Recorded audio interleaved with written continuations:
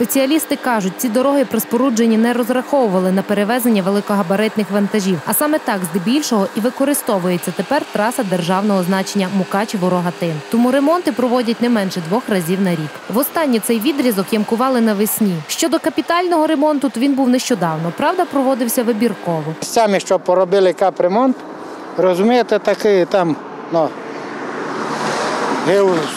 гил сільцьовий, розумієте. Ну а остальне все ямочне. Дорога стара, розумієте, давно це не робить капремонт, та і все, по 30 років. Тепер планують підлатати близько 50 кілометрів дорожнього покриття. Працюватимуть, за словами відповідального за ремонтні роботи, поки дозволятимуть погодні умови.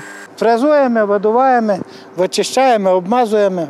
Вкладка асфальтобетона і укатка. До речі, в силу інтенсивності руху транспорту ремонтні роботи проводити на цій ділянці не так просто. Я сам являюся водієм, але якщо б водії дотримувалися правил дорожнього руху, було б дуже добре. Знаки є розставлені, яких потрібно дотримуватися, але не кожен водій на це вважає.